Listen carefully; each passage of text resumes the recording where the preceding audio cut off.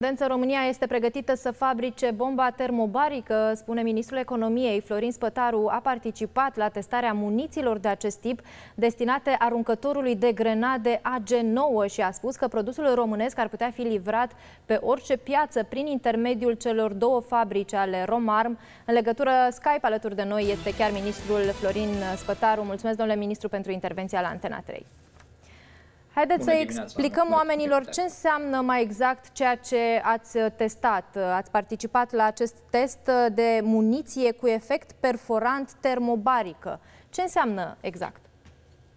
Da, este o muniție nouă, inovativă, care îmbină cele două uh, capabilități. Uh, capabilitatea de a perfora, de a trece peste uh, ziduri sau peste uh, spații care sunt blindate, până la 400 de milimetri, deci poate pătrunde această muniție până la 400 de milimetri în zid sau poate trece peste blindaje de până peste 30 de milimetri.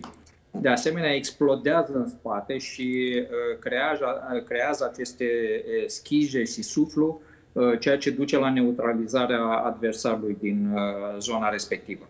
Este o muniție inovativă, este un produs uh, care a rezultat în urma cercetării um, Academiei, Academiei Tehnice din cadrul Ministerului Apărării Naționale și pus în practică de cele două unități din, de producție de la Plopeni și de la Mija.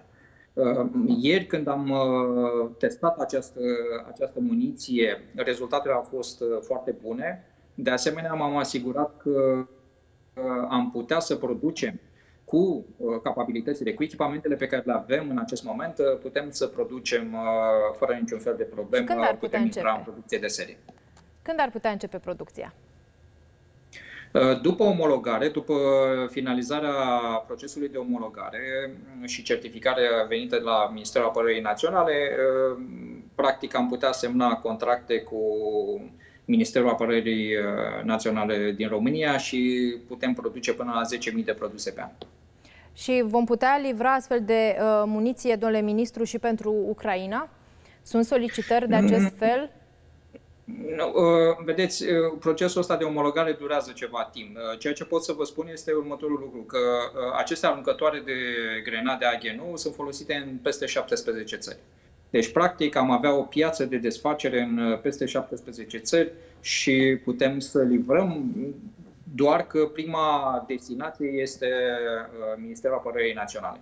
Cred că e un produs foarte bun. Mai sunt și alte proiecte de cercetare care în acest moment uh, sunt în fază, um, în fază de um, fază de experiment și urmează să fie produse în uh, România și din punctul meu de vedere este uh, exact ceea ce ar trebui să se întâmple în colaborarea dintre cercetarea românească, dintre Ministerul Apărării Naționale și Ministerul Economiei prin industria de apărare. Și astfel de grenade, domnule ministru, cu efect, iată, termobaric, ar putea să ajungă și în Ucraina, să livrăm și pentru Ucraina?